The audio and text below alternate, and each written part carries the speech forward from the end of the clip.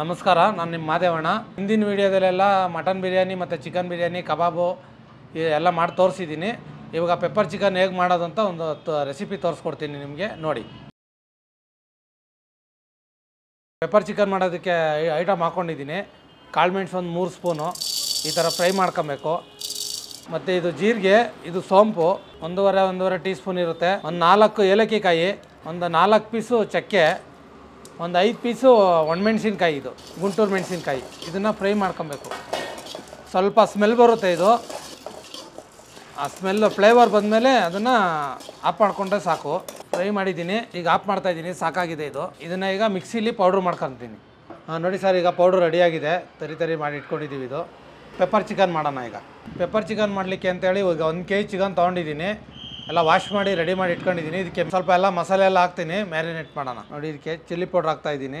ಒಂದು ಕೆ ಜಿಗೆ ಒಂದು ಟೀ ಸ್ಪೂನ್ ಅಷ್ಟು ಚಿಲ್ಲಿ ಪೌಡ್ರ್ ಹಾಕೊಳ್ಳಿ. ಒಂದು ಅರ್ಧ ಸ್ಪೂನ್ ಅಷ್ಟು ಅಷ್ಟು ಪುಡಿ ಹಾಕೊಳ್ಳಿ. ಇದೊಂದು ಸ್ಪೂನ್ ಗರಂ ಮಸಾಲ ಇದು. ಆಲ್ರೆಡಿ ಮಸಾಲ ಮಾಡೋದೆಲ್ಲ ತೋರಿಸಿದ್ದೀನಿ. ಅದೇ ಇದು ಗರಂ ಮಸಾಲ. ಇಲ್ಲ ಅಂದರೆ ನಾರ್ಮಲ್ ಗರಂ ಮಸಾಲ ಅಂಗಡಿ ಸಿಗೋದು ತೆಗ್ದು ಹಾಕೋಬೋದು. ಶುಂಠಿ ಬೆಳ್ಳುಳ್ಳಿ ಪೇಸ್ಟ್ ಹಾಕಿದ್ದೀನಿ ಒಂದು ಸ್ಪೂನು ಒಂದು ಕೆ ಜಿಗೆ ಎಷ್ಟು ಬೇಕು ಅಷ್ಟು ಉಪ್ಪು ಹಾಕೊಂಡಿದ್ದೀನಿ. ಕಲ್ಲುಪ್ಪರ ಹಾಕೋಬೋದು, ನೀವು ಪುಡಿ ಉಪ್ಪರ ಹಾಕೋಬೋದು. ಒಂದು ಫುಲ್ಲು ಲೆಮನ್ ಹಾಕ್ತಾ ಇದ್ದೀನಿ ಇದಕ್ಕೆ. ಮತ್ತು ಇದನ್ನೆಲ್ಲ ಮಿಕ್ಸ್ ಮಾಡ್ಕೊತಾ ಇದ್ದೀನಿ ನೋಡಿ. ಸ್ವಲ್ಪ ಖಾರ ಎಲ್ಲ ನೀಟಾಗಿ ಸ್ಪೈಸಿ ಆಗುತ್ತೆ. ಇದು ಹಾಕೋದು ಎಲ್ಲ ಇಟ್ಕೊಂಡು ಇಟ್ಕೊತದೆ ಉಪ್ಪೆಲ್ಲ ಕರಗುತ್ತೆ ಅಷ್ಟರಲ್ಲಿ. ನಾವು ಮಾಡೋ ಅಷ್ಟರಲ್ಲಿ. ಸರ್ ಮೊದಲು ಮಾಡ್ತಾ ಇದ್ವಿ. ಆ, ಇವಾಗ ಮಾಡ್ತಾ ಇಲ್ಲ. ಮತ್ತೆ ಸ್ಟಾರ್ಟ್ ಮಾಡ್ತೀವಿ ಸರ್. ನಾವು ಸ್ವಲ್ಪ ಜಾಗ ಎಲ್ಲ ರೆಡಿ ಮಾಡಿಕೊಂಡು ಸೀಟಿಂಗ್ ಎಲ್ಲ ಮಾಡಿಕೊಂಡು ಆಮೇಲೆ ಎಲ್ಲ ರೆಡಿ ಮಾಡ್ತು ಮಾಡ್ಕೊಡ್ತೀನಿ ಸರ್. ನಾವು ಸನ್ಪ್ಯೂರ್ ಸನ್ಪ್ಯೂರ್ ಆಯಿಲು ಯೂಸ್ ಮಾಡ್ತಾ ಇದ್ದೀವಿ. ತುಂಬ ಟೇಸ್ಟಿಯಾಗಿರುತ್ತೆ ಹಾಕೊಳ್ಳಿ. ಒಂದು ಕೆ ಜಿಗೆ ಒಂದು ಸ್ಪೂನಷ್ಟು ಆಯಿಲ್ ಹಾಕೊಳ್ಳಿ. ಈಗ ಉಪ್ಪು ಖಾರ ಎಲ್ಲ ಚೆನ್ನಾಗಿ ಹಿಡಿತದೆ ಆಯಿಲ್ ಹಾಕಿರೋದ್ರಿಂದ ಸ್ವಲ್ಪ ಎಲ್ಲ ಬೇಗ ಇಟ್ಕೊಂಡು ಎಳ್ಕೊತದೆ. ಇದೊಂದು ಹಾಫ್ ಆನ್ ಅವರ್ ಎಲ್ಲ ಮ್ಯಾರಿನೇಟ್ ಆಗಬೇಕು. ಬನ್ನಿ ಪೆಪ್ಪರ್ ಚಿಕನ್ ಸ್ಟಾರ್ಟ್ ಮಾಡೋಣ. ಮೊದಲು ಆಯಿಲ್ ಹಾಕೊತೀನಿ. ನಾವು ಯೂಸ್ ಮಾಡ್ತಾ ಇರೋದು ಸನ್ಪ್ಯೂರ್ ಸನ್ಪ್ಯೂರ್ ಆಯಿಲು ಚೆನ್ನಾಗಿರುತ್ತೆ. ಒಂದು ಕೆ ಜಿಗೆ ಎಷ್ಟು ಬೇಕು ನೋಡಿ ಹಾಕ್ಕೊಳ್ಳಿ ಕರ್ಬೇವಿನ ಸೊಪ್ಪು ಹಾಕಿದ್ದೀನಿ. ಚಚ್ಚಿ ರೆಡಿ ಮಾಡ್ಕೊಂಡಿರುವಂಥ ಬೆಳ್ಳುಳ್ಳಿ ಹಾಕ್ತಾಯಿದ್ದೀನಿ ಎರಡು ಫುಲ್ ಉಂಡೆ ಇದೆ ಇದು. ನೆಕ್ಸ್ಟು ಮೆಣಸಿಕಾಯಿ ಒಂದು ನಾಲ್ಕು ಪೀಸ್ ಅಷ್ಟು. ಬೆಳ್ಳುಳ್ಳಿ ಸ್ವಲ್ಪ ಸಿಪ್ಪೆ ಜೊತೆನೇ ಇದ್ದರೆ ತುಂಬ ಚೆನ್ನಾಗಿರುತ್ತೆ. ಸಿಪ್ಪೆ ತೆಗೆಯೋ ಅವಶ್ಯಕತೆ ಇಲ್ಲ. ಈಗ ಈರುಳ್ಳಿ ಹಾಕ್ಕೊಳ್ಳಿ ಒಂದೆರಡು ಈರುಳ್ಳಿ ಅಷ್ಟು ಹಾಕ್ಕೊಳ್ಳಿ ಒಂದು ಕೆ ಜಿಗೆ ತುಂಬ ಜನ ಇಷ್ಟಪಡ್ತಾರೆ ನಮ್ಮ ಬಿರಿಯಾನಿನ. ತುಂಬ ರೆಸ್ಪಾನ್ಸ್ ಚೆನ್ನಾಗಿದೆ. ನಾವು ಅದೇ ಅದೇ ಥರ ಒಳ್ಳೆ ಕ್ವಾಲಿಟಿ ಅಕ್ಕಿ ಎಲ್ಲ ಹಾಕಿ ಎಲ್ಲ ಕ್ಲೀನಾಗಿ ಎಲ್ಲ ಮಾಡಿಕೊಡ್ತಾ ಇದ್ದೀವಿ ಕಸ್ಟಮರ್ಗೆ ನಮಗೆ ಜಾಗ ಸಾಕಾಗ್ತಾ ಇಲ್ಲ ಕಸ್ಟಮರ್ ಕುತ್ಕೊಳ್ಳೋಕ್ಕೆಲ್ಲ ಅದು ಮುಂದಿನ ದಿನಗಳಲ್ಲಿ ಅದನ್ನು ಎಲ್ಲ ಮಾಡ್ತೀನಿ. ಮಾಡ್ತಾಯಿದ್ದೀನಿ ಸರ್. ಈರುಳ್ಳಿ ಸ್ವಲ್ಪ ಕೆಂಪಗಾಗಿದೆ. ಇವಾಗ ಮ್ಯಾರಿನೇಟ್ ಮಾಡಿರುವಂಥ ಚಿಕನ್ ಅರ್ಧ ಗಂಟೆ ಆಗಿದೆ ಅದು. ಇದನ್ನು ಹಾಕೊಳ್ಳೋಣ.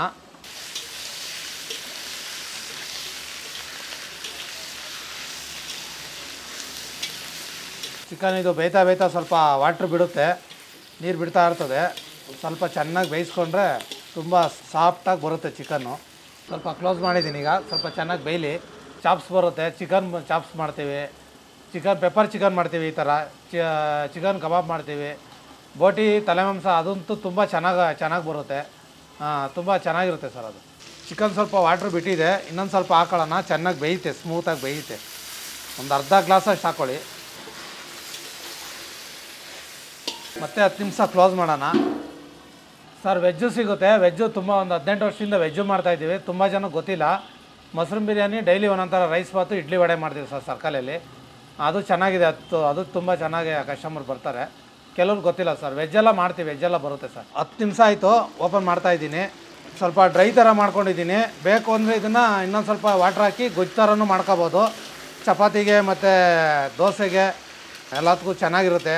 ಈಗ ನೋಡಿ ಅದನ್ನು ನಾನು ಮಾಡಿರೋಂಥ ಪೌಡ್ರನ್ನ ಇದಕ್ಕೆ ಮಿಕ್ಸ್ ಮಾಡ್ಕೊತಾ ಇದ್ದೀನಿ ಇವಾಗ. ಒಂದು ಕೆ ಜಿಗೆ ಒಂದು ನಾಲ್ಕು ಸ್ಪೂನ್ ಅಷ್ಟು ಹಾಕಿದ್ದೀನಿ.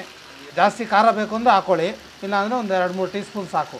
ಆಲ್ರೆಡಿ ಪೆಪ್ಪರ್ ಎಲ್ಲ ಹಾಕಿ, ಮಸಾಲೆ ಎಲ್ಲ ಹಾಕಿ ಫ್ರೈ ಮಾಡಿದ್ದೀವಿ ಒಳ್ಳೆ ಸ್ಮೆಲ್ ಬರ್ತಾ ಇದೆ. ಸೈಡ್ಸ್ಗಂತೂ ತುಂಬ ಚೆನ್ನಾಗಿರುತ್ತೆ. ಸ್ವಲ್ಪ ವಾಟ್ರ್ ಹಾಕ್ಕೊಂಡಿದ್ದೀನಿ ಸ್ವಲ್ಪ ಗೊಜ್ಜು ಥರ ಬೇಕು ಅಂತೇಳಿ ಮಾಡ್ತಾಯಿದ್ದೀನಿ ಇದನ್ನು ನಾನು. ಗೊಜ್ಜು, ದೋಸೆ, ಇಡ್ಲಿ ಎಲ್ಲ ತಿನ್ನೋಕ್ಕೆಲ್ಲ ಚೆನ್ನಾಗಿರುತ್ತೆ. ಲಾಸ್ಟಲ್ಲಿ ಒಂದು ನಾಲ್ಕು ಪೀಸ್ ಕರ್ಬೇವಿನ ಸೊಪ್ಪು ಹಾಕೊಂತ ಇದ್ದೀನಿ. ಚೆನ್ನಾಗಿರುತ್ತೆ ಫ್ಲೇವರು ಎಲ್ಲ ರೆಡಿಯಾಗಿದೆ ಫೈನಲಾಗಿ ಸ್ವಲ್ಪ ತುಪ್ಪ ಹಾಕೊತೀನಿ. ಚೆನ್ನಾಗಿರುತ್ತೆ ತುಪ್ಪ ಹಾಕಿದ್ರೆ ಚಿಕನ್ನು ಹಾಗಾಗಿ ಒಂದು ಟೀ ಸ್ಪೂನ್ ಅಷ್ಟು ತುಪ್ಪ ಹಾಕ್ತೀನಿ. ಪೆಪ್ಪರ್ ಚಿಕನ್ ರೆಡಿ ಇದೆ. ಬೇಕು ಅಂದರೆ ಗೊಜ್ಜು ಥರನೂ ಮಾಡ್ಕೋಬೋದು ಗ್ರೇವಿ ಥರನೂ ಮಾಡ್ಕೋಬೋದು ಇದನ್ನು. ಸೊ ರೆಡಿಯಾಗಿದೆ ಈಗ ಆಫ್ ಮಾಡ್ಕೊಳ್ಳೋಣ ಇದನ್ನ.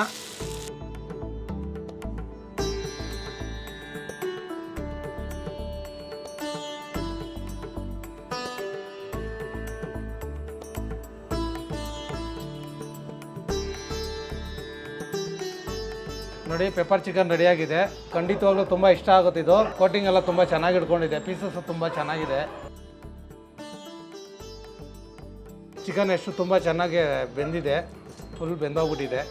ಆಚೆ ಖಾರ ಖಾರ ಇರುತ್ತೆ, ಒಳಗಡೆ ಮೈಲ್ಡಾಗಿರುತ್ತೆ ತುಂಬ ಚೆನ್ನಾಗಿರುತ್ತೆ, ತುಂಬ ಟೇಸ್ಟಿಯಾಗಿ ಕೂಡ ಇರುತ್ತೆ ಇದು. ಸರ್, ನಮಸ್ಕಾರ. ನನ್ನ ಹೆಸರು ಕಿಶೋರ್ ಅಂದ್ಬಿಟ್ಟು. ಇವ್ರ ಹೋಟ್ಲಿಗೆ ಬಿರಿಯಾನಿ ತೊಗೊಳ್ಳೋಣ ಅಂತ ಬಂದಿದ್ದೆ ಇವಾಗ. ಜಸ್ಟ್ ಪೆಪ್ಪರ್ ಚಿಕನ್ ಮಾಡಿದ್ರು. ಏನು ಟೇಸ್ಟ್ ಇದೆ ಗೊತ್ತಾ ಸರ್? ಸೂಪರ್ ಆಗಿದೆ. ಎಲ್ಲರೂ ಬಂದು ಟೇಸ್ಟ್ ಮಾಡಿ. ತುಂಬ ಚೆನ್ನಾಗಿದೆ. ಮನೆಯಲ್ಲೂ ಟ್ರೈ ಮಾಡಿ. ನೋಡಿ ಸರ್, ಒಂದು ಪ್ರೆಸ್ ಮಾಡ್ತಾ ಇನ್ನು ನೋಡಿ. ಎಷ್ಟು ಸಾಫ್ಟ್ ಆಗಿದೆ ನೋಡಿ. ಫುಲ್ ಟೆಂಡರ್ ಚಿಕನ್ ಇದೆ ಇದು. ಮಸ್ತಾಗಿದೆ ಮಾತ್ರ. ತಿನ್ನಕ್ಕೆ ಮಾತ್ರ ತುಂಬ ಚೆನ್ನಾಗಿದೆ ಸರ್. ಬಂದು ಟೇಸ್ಟ್ ಮಾಡಿ. ಅಷ್ಟೇ ಟೇಸ್ಟ್ ಮಾಡಿದ್ರೆ ಗೊತ್ತಾಗುತ್ತೆ. ನೋಡಿ, ಇದು ನಿಮಗೆ ತುಂಬ ಇಷ್ಟ ಆಗುತ್ತೆ. ಮನೇಲಿ ಟ್ರೈ ಮಾಡಿ ನೋಡಿ, ತುಂಬ ಚೆನ್ನಾಗಿರುತ್ತೆ. ನಮ್ಮ ಹೋಟ್ಲ್ ಹತ್ರ ಬನ್ನಿ. ಮಕ್ಕಳಿಗೆಲ್ಲ ತುಂಬ ಇಷ್ಟ ಆಗುತ್ತೆ ಇದು, ಮಾಡಿಕೊಡಿ. ನಮ್ಮ ಹೋಟ್ಲ್ ಅಡ್ರೆಸ್ ಬಂದು ಲೆನ್ಸ್ ಕಟ್ ಪಕ್ಕದ ರೋಡಲ್ಲಿ ಮೇಲ್ಗಡೆ ಸುಮಂಗಲಿ ಚೌಟ್ರಿ ಅಂತ ಇದೆ, ಅಲ್ಲಿದೆ ನಮ್ಮದು ಅಂಗಡಿ. ಬನ್ನಿ. ನೆಕ್ಸ್ಟ್ ವಿಡಿಯೋದಲ್ಲಿ ಸಿಗ್ತೀನಿ. ಧನ್ಯವಾದಗಳು.